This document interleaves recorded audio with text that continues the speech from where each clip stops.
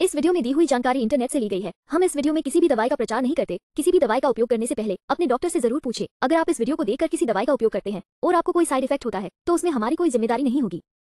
Eco foods अंजनिया burdock root bland burdock को पारंपरिक रूप से मूत्रवर्धक और पाचन में सहायता के लिए उपयोग किया जाता है। यह एंटीऑक्सीडेंट और इनुलिन से भरपूर है और विभिन्न त्वचा रोगों, सूजन, पाचन और कई अन्य समस्याओं के लिए उपयोगी माना जाता है।